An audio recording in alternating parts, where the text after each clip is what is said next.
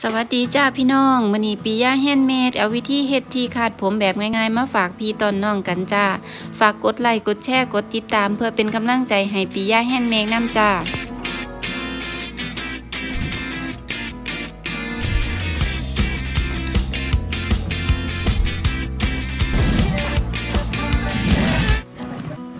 มาเบิงวิธีการเฮ็ดเลยจ้า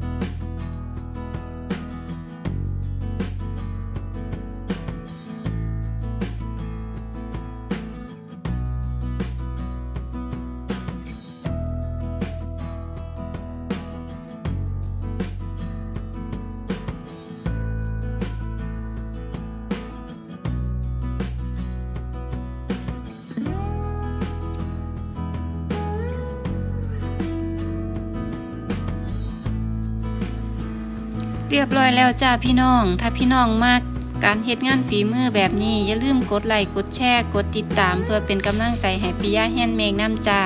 ปิยะแฮนเมงเฮ็ดเองได้ง่ายนิดเดียวจ้า